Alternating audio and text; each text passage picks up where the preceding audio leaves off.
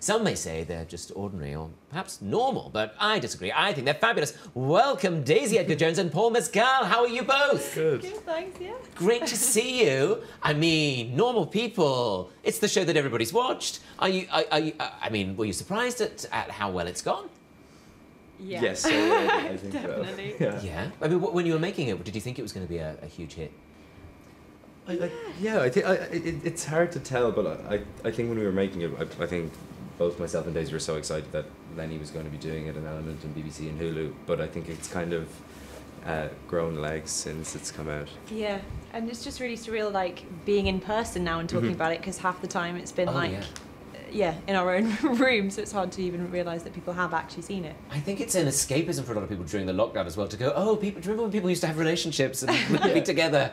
And, and, and I mean, of course, it comes from a, a very successful book. Was that a mm-hmm. pressure, did you find?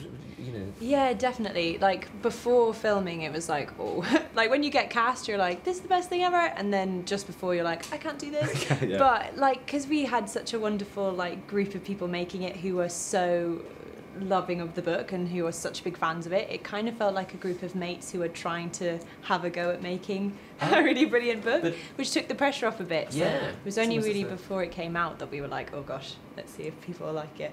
Well, and it turns out they did. They really did. And I mean, you guys have been thrust into the spotlight, sort of quite not out of nowhere, because I know you've both worked before, but this is kind of your first big TV job, and it's huge. And that's a big pressure for you guys. Totally, and, and now we get to sit in BAFTA wearing fancy clothes. it's, it's all very exciting. Yeah, it's uh, it has been a bit of a whirlwind, whirlwind and uh, something I think we're both incredibly grateful for.